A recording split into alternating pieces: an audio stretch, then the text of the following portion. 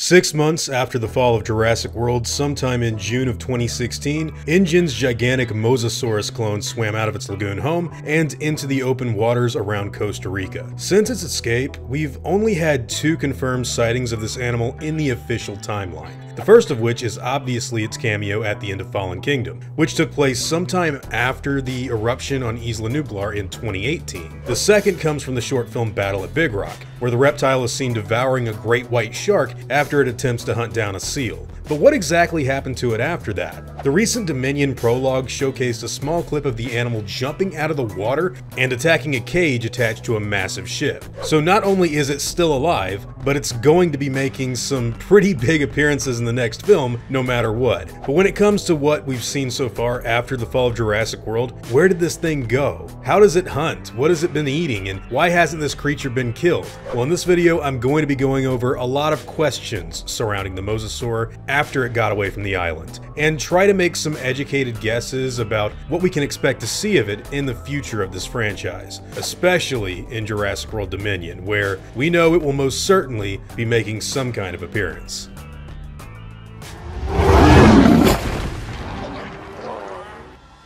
Hey guys, hope you're all doing well. Now for today's video, I wanted to go over just what exactly has been going on with Jurassic World's Mosasaurus. Now, I want to talk about this animal by going over some of the material that has been talked about behind the scenes. After Fallen Kingdom ends, we haven't really gotten too much information about it or its general survival outside of that random shark attack. So this video will hopefully be a fun look inside of how one of these things could possibly survive if similar situations lined up perfectly today. Now before I go any further, I want to mention to you guys that today's video is sponsored by CuriosityStream, the subscription streaming service that offers thousands of documentaries and non-fiction titles from some of the world's best filmmakers. It even has exclusive originals. CuriosityStream is the Netflix for nerds, the Hulu for history buffs, and the Disney Plus for the scientists in us all. It's also extremely affordable at under $20 a year, so that's just $1.67 per month. Now one of the reasons I thought CuriosityStream would be such a cool idea to help sponsor this video was their wide selection of dinosaur documentaries that they have available, especially this one called Amazing Dino World that even has a small segment that's more than congruent with what we're talking about today. This is the entertainment brand for people who want to know more, and it's available on Roku, Android, Xbox, iOS, Chromecast, Amazon, Apple, and several smart TVs as well. New shows come out every week, so whether you want to learn about science, sports, music, technology, nature, or history, CuriosityStream has got you covered. Just go to curiositystream.com slash Klayton for unlimited access to the world's top documentaries and nonfiction series. And just for you guys, use the promo code Klayton and you'll save 25% off, which comes out to only $14.99 a year. So click the link below or go to curiositystream.com slash Klayton and save 25% right now. That's only $14.99 for the whole year. That's just like 125 per month. So once again, thanks to CuriosityStream for sponsoring this video. Now, back to Jurassic Park.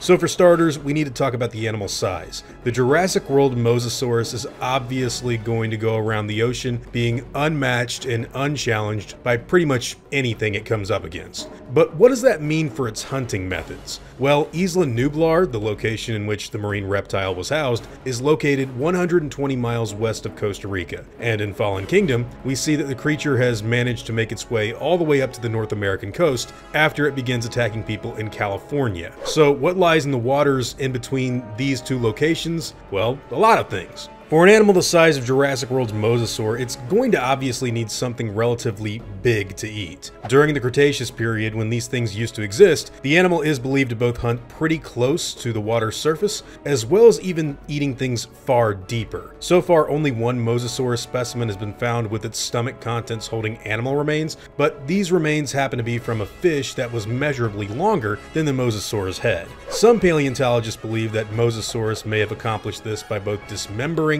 and consuming parts of their food's bodies in large parts at a time. And since there wouldn't really be anything large enough to challenge the Mosasaurus from Jurassic World, I think it's safe to say that everything would be in grave danger. Now, large animals like whales would more than likely be the Mosasaurus' prime choice of food after 2016. This means that animals like, I don't care, all of them, orcas, humpbacks, gray whales, and pretty much anything unfortunate enough to find itself in and around the area of this gigantic prehistoric monster would end up being in a very bad situation if it sought them out out at any given point in time. I do think that hunting the animals in a larger pod could prove to be a bit trickier for the Mosasaurus in comparison to what it usually went after at the theme park, so it's also very likely that larger sharks and maybe even stray boats would fall prey to the creature as well. Now, I say small boats would end up being in trouble because of an abandoned concept from Jurassic World Fallen Kingdom, where the Mosasaurus was actually going to attack a big boat and do damage to the very large ship during an unused scene for that film.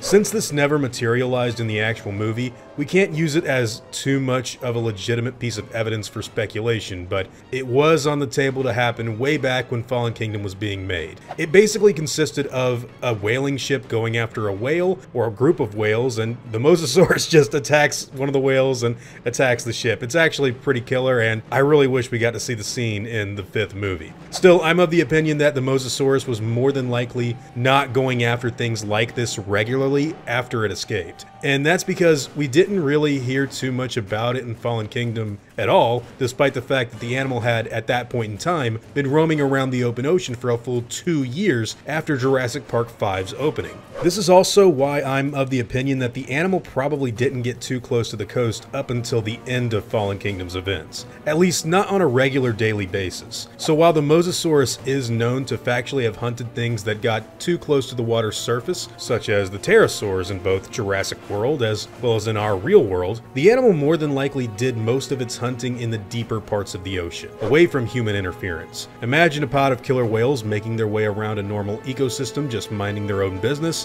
when suddenly something massive strikes one of the animals trailing behind in the back, tearing away parts of its body before swimming off and away from the scene to just eventually circle back around and do it again. Sure, there would be some kind of conflict in situations like this had the Mosasaurus not planned out its attacks in advance, and truth be told, the reptile is more than likely not used to hunting like this, since it was fed routinely and with little to no trouble at the theme park. I mean, they had a whole crane system where they just drop stuff in its mouth. But I just can't see anything out in the modern ocean today that could do any kind of significant damage to Jurassic World's Mosasaurus. This is an animal that we've seen decimate creatures and rip them apart over the course of the two newest films. And since this clone is uniquely oversized and bred to entertain an entire coliseum worth of people, there's truly besides humans that I could see doing any real damage to the animal on its own. The population of great white sharks and possibly several different species of whale would of course be in trouble over the years, but eventually the animal would find its way back to the more shallow waters of the North American coast, so the sea creatures could relax a little bit knowing that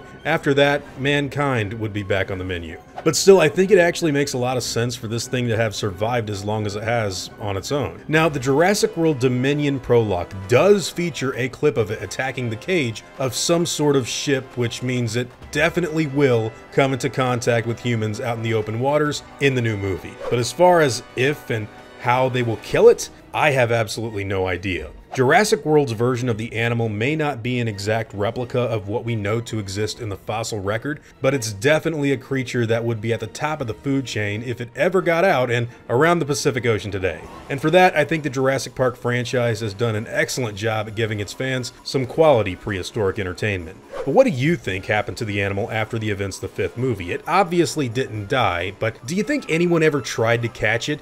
And how would you even attempt to do something like that? What about hunting the animal down and trying to get rid of it for good so that it doesn't attack boats like what we did see go down in Dominion's prologue? Well, whatever your own thoughts happen to be, I'd love to hear them. In the comments down below.